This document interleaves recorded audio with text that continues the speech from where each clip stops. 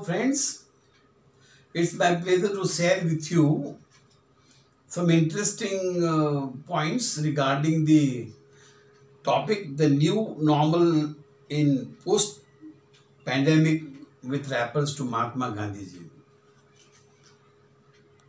This particular idea came into my mind when I saw lot many things as a part of observation in our life, how we were able to settle the issues coming out of our homestay during the long period. The idea of this talk is to explain how we have implemented Mahatma Gandhi's principles of life and advised by him to follow. Let me start with the five basic principles which I wish to discuss at length in terms of our human our behavior. First is respect for physical labor. Second is simplicity in life. Third is role of spirituality. Fourth is naturopathy. And five is preservation of Mother Earth. I would like to explain each one of these principles that we have followed in our day-to-day life knowingly or unknowingly, with intention or without intention. Let me start with the first principle the respect for labor. His love for the physical labor was almost first love of the life. He believed that physical labor is the most important component of the life and everybody should do the physical labor and everybody should respect those who provide this physical labor. In this context, let us remember our those days of staying in the house without maid, without servant, and uh, lots of work that we were sharing with each other in our house. We started realizing the role of maids and servants in our life and also the role of our all women members who helped us a lot in every steps of our life in the home.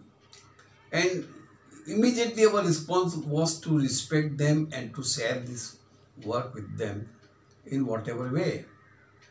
Now this exactly uh, is the proof that we were trying to respect labor.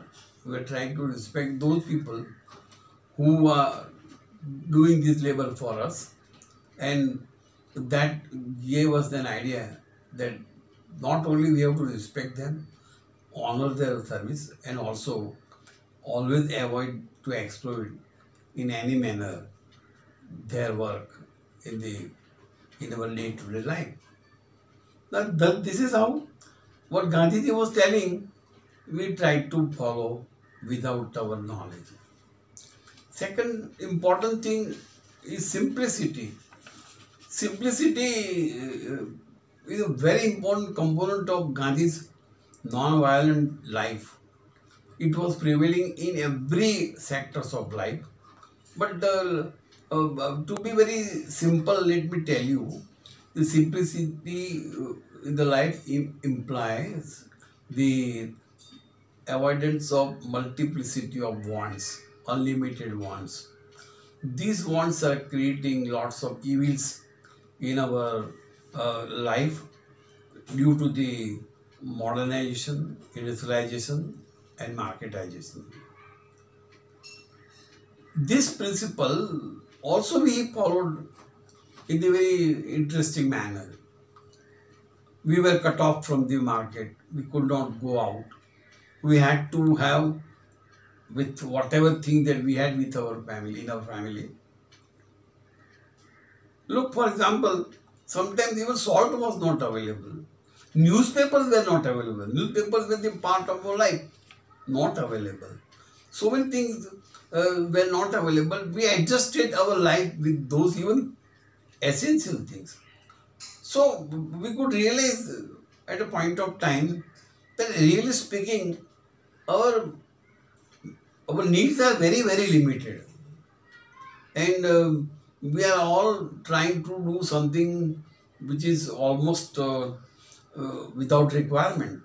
So one can live in the simple manner with a very limited requirement. Necessities are okay, but the other things related to necessary, for example, food.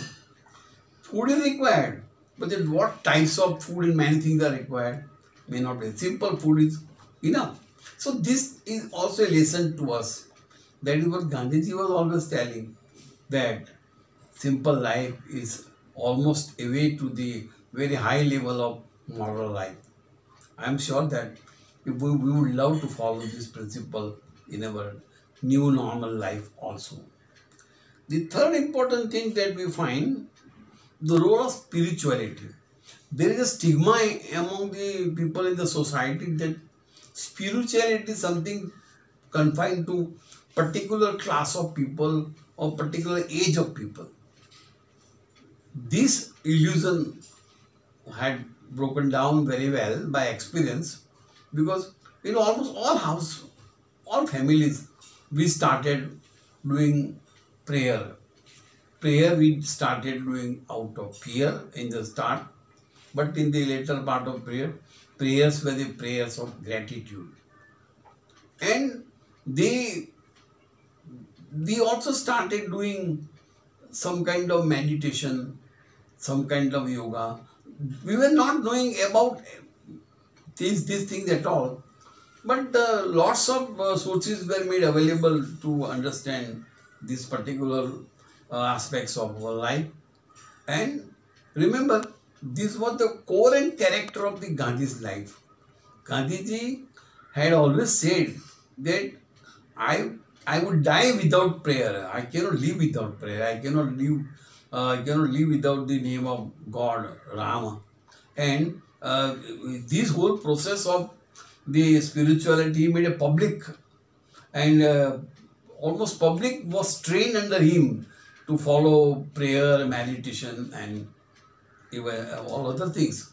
So uh, I'm sure that you will agree with me that for the first time we have realized the role of spirituality in our life to balance our life and to make the life more peaceful and happy.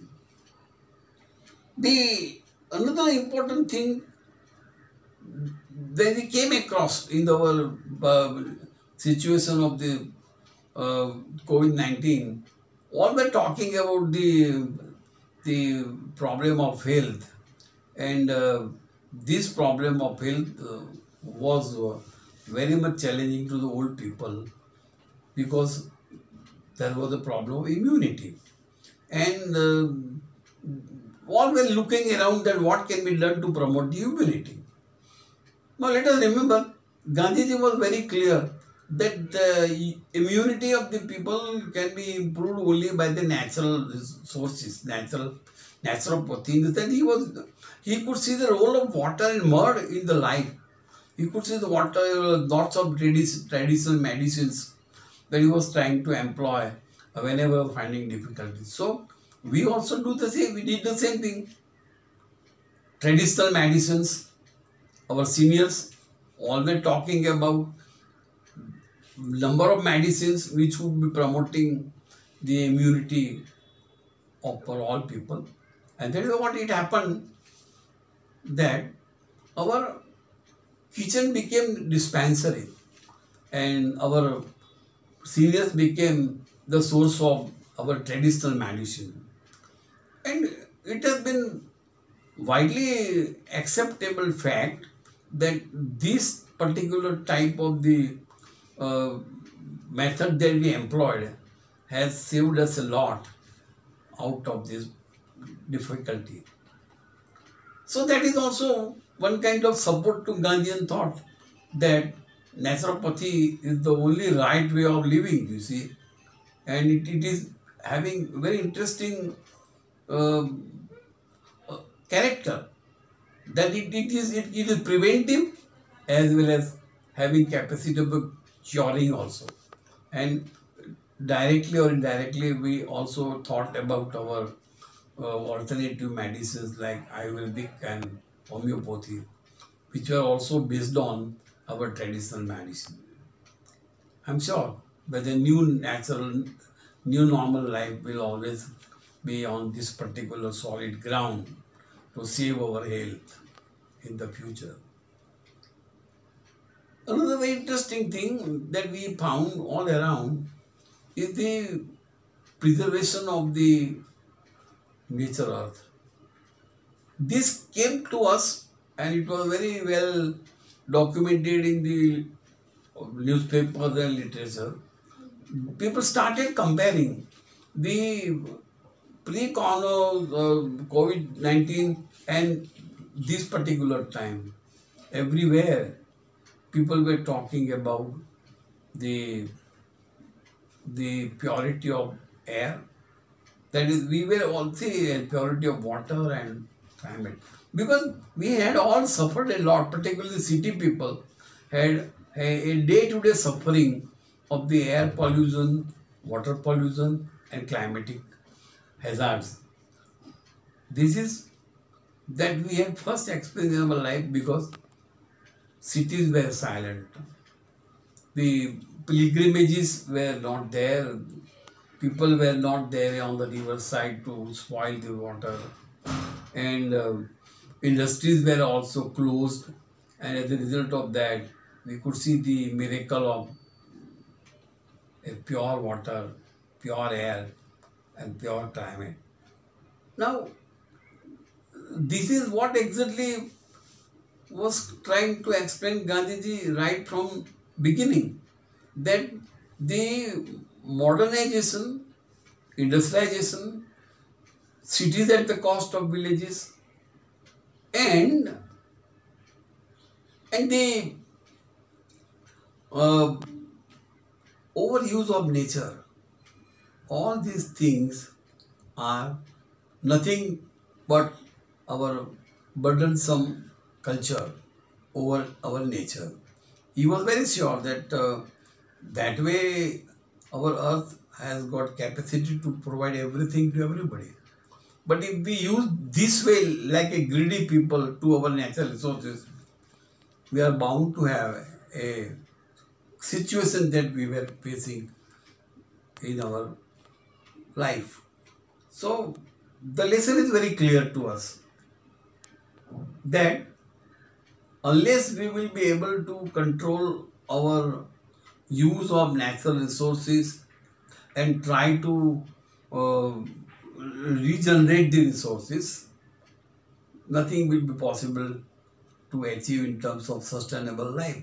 Now this, this was a lesson given by Gandhiji in almost in 1909 he was when he was talking about the Hindu Swarajya. So these are all important lessons that we learned out of our experience um, about what Gandhiji was trying to say. And I'm sure that our life to be followed in the new nature, new normal life will certainly be much better if we will continue to follow these principles in our daily life and will not allow the habitual culture and style of living which will which is uh, which is just imposed by the modernization marketization and globalization. Thank you very much